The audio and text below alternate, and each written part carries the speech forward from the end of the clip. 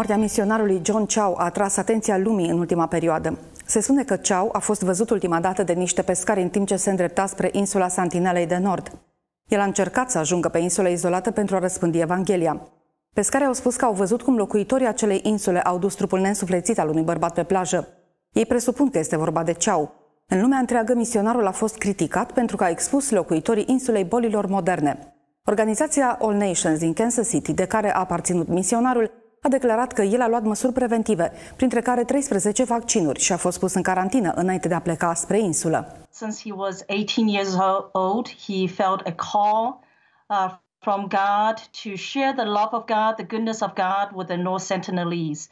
De la vârsta de 18 ani a simțit o chemare de la Dumnezeu pentru a răspândi dragostea și bunătatea lui în rândul locuitorilor insulei Santinelei de Nord. În ultimii 8-9 ani, el s-a pregătit pentru a putea sluji pe insula Santinelei de Nord. El a fost pregătit, iar noi l-am susținut din toate punctele de vedere.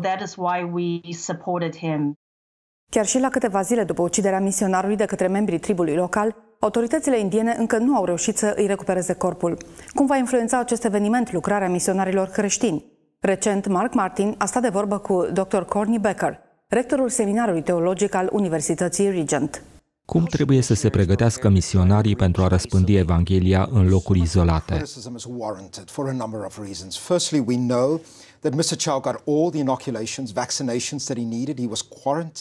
Criticile sunt nefondate din mai multe motive.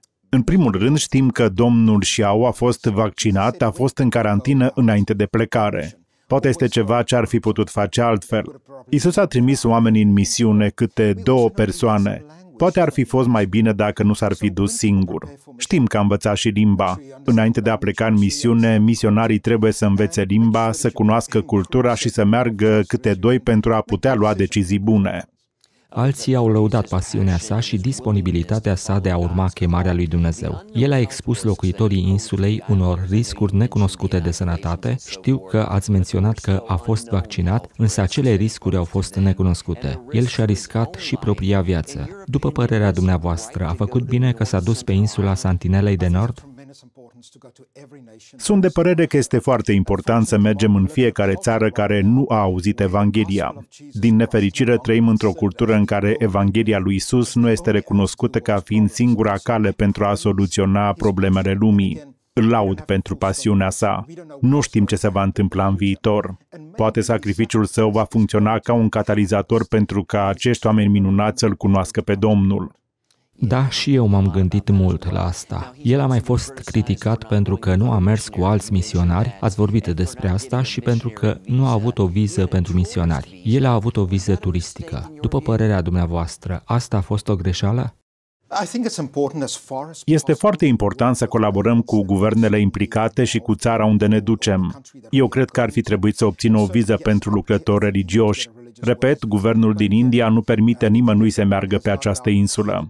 În calitate de creștini, nu avem o altă opțiune în această privință. Isus a vorbit foarte clar. El a spus să mergem să propovăduim Evanghelia lui Isus Hristos la toate neamurile. Mulți văd o asemănare între acest caz și cazul lui Jim Elliot și misionarii care au fost uciși când au încercat să vestească Evanghelia în rândul unui trib din America de Sud. Ce părere aveți despre asta? Sunteți de acord?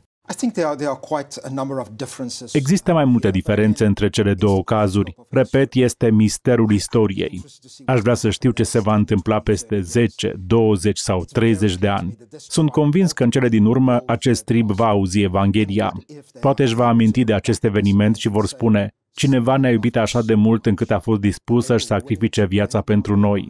Aceasta ar putea fi o forță catalizatoare. Este un gând minunat. Este posibil ca acest caz să încurajeze pe alții să urmeze porunca lui Dumnezeu și să vestească Evanghelia în întreaga lume, nu doar pe insula Santinelei de Nord. Pe mine m-a inspirat. Trebuie să-mi cercetez viața și să mă întreb ce riscuri sunt dispus să-mi asum pentru a vesti Evanghelia lui Isus Hristos? Mă rog să avem mulți misionari care să răspundă acestei chemări. Alpha.